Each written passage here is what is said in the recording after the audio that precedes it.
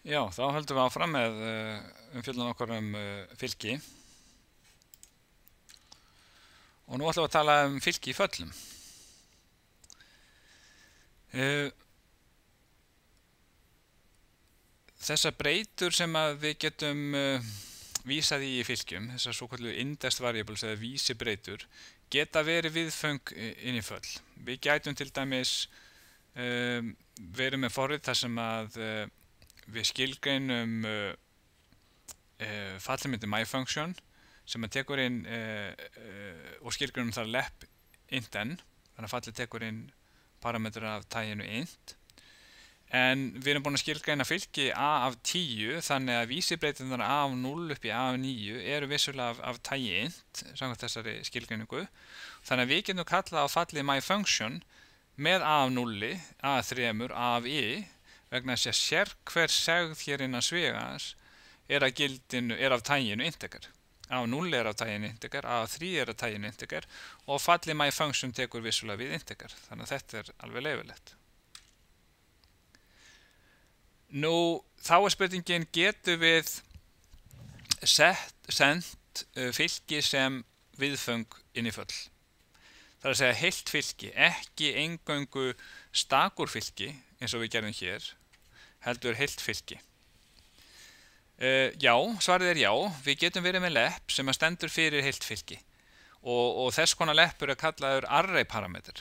Þetta er ekki call by value parameter vegna þess að við erum ekki að afrita allt fylkið yfir í leppin. Þetta er ekki call by reference parameter uh, en þetta, er, hann, þetta haga sér hins vegar mjög uh, líkt því að vera call by reference parameter vegna þess að við erum í raunverulega að senda minnisadressur.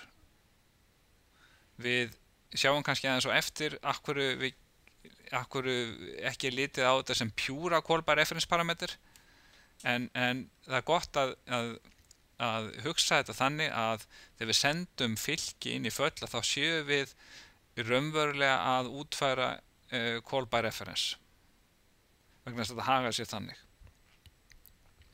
Nú hvernig uh, skilgreinum við þá fall sem að tekur við uh, fylki?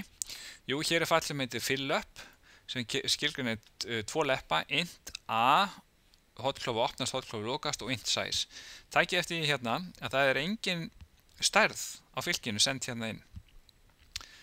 Þegar við skilgreinum array parameter sem lepp, þá þarf að gera þetta svona. Nafnið á fylkinu og hotklofu opnast og hotklofu lokast og ekki þar inni. Síðan er sendt, sendt hérna breyta sem heitir svo er leppur annar hérna sem heitir int size sem að tekur þá við uh, starðinni á, þessari, á þessu fylki. Þannig að, ef við til dæmis búum okkur til þetta fall og fill up sem var skilgjart á þannig hátt sem vorum að skoða og við eigum jafnframt fylki sem heitir score á starðinni 5 þá getum við kallað á fill-up svona með nafnin á fylkinu skor og síðan sendi inn líka uh, fjölda number of scores hérna. Og þá sjáum við uh, það sem er mikilvægt í þessu er að þegar við sendum fylkið í fallakallinu sjálfu þá vísum við bara í það með nafnin á fylkinu, hérna skor, engir hotklófar vegna þess að við erum ekki að senda hérna tiltekki stak í fylkinu, við erum að senda fylkið í heilsinni sem að raunverulega þýði það að minnisadressan á fyrsta stakjunu er send en það er, og þess vegna hagar þetta sér eins og callbar reference. En þegar við skilgreinum falli fill up þá setum við eh, tægið á fylkinu og nafnið og síðan bara hotklófi opnast og hotklófi lokast Þannig að e, í leppurinn sjálfur, hann er nafnið á e, fylkinu með hotklónum tveimur en þegar við köllum þá vísum við í nafnið á fylkinu á þess að vera með nokkara hotklóa.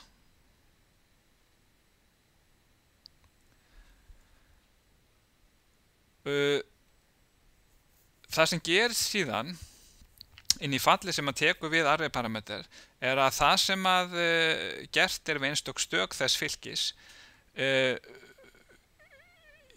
er raunverulega verið að gera við uh, það fylgi sem var sendt inn þannig að aftur komum þá þessu að þetta hafa sér eins og callbar reference að breytingarna sem eiga sér stað á fylkinu inn í fallinu eru raunverulega breytingar á því fylki sem að var sendt inn.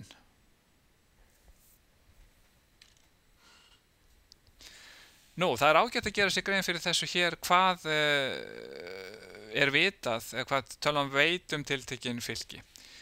Uh, grunntægið er vitað vegna þess að þegar fylgið er skilgreint þá segjum við að þetta sé annarkvort int grunntæg eða, eða doppul eða hvað svo sem það er adressan á fyrsta fyrstu vísubreitinu er vitað líka breyturna byrja í A, fyrsta breytan heitir raunverulega A af nulli og það er adressan á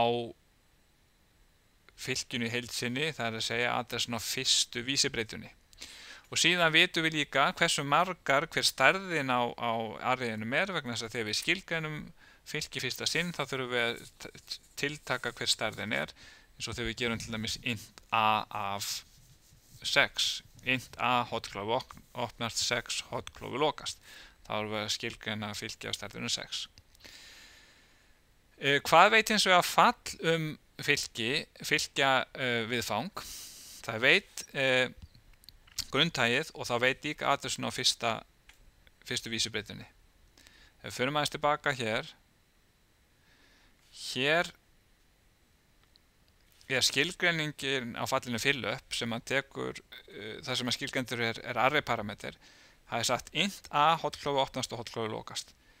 E, þannig að grunntægið er þekkt, nafnið er þekkt og þegar kallað er á þetta fall þá er kallað með referens þannig að, að adressan á fyrsta stakjunu í, í fylkinu er þekkt hins vegar er stærðin ekki þekkt vegna þess að stærðin er ekki hluti af leppnum hérna. Og þetta vegna þess að fall þekkir ekki hver stærðin á array parametrunum er þá ætti forritarinn ymmit að senda annað e, fall, e, annar, andra breytu sem að spesifikera starðin á, á arraynum og e, þannig getur einmitt fallið e, meðhöndlað fylgi af mismöndi stærðum þannig að fylgið áðan sem við kallum fill up getur þá verið að nota til þess að fylla einhver, einhver fylki af mismændi stærðum. Við getum þá kalla á fill up score 0,5 eða fill up time 0,10. Það ekki eftir því að skilgruningin á fill up var bara þannig að hún tók við integer fylki af einhverji stærð og síðan sendu við stærðin inn. Þannig að við getum sendt integer fylki score inn og segjum að stærðin á því sé 5 og við getum sendt integer fylki fill up inn og, að, og segjum að stærðin á því sé 10. Hvað er það sem þetta fill up gerir?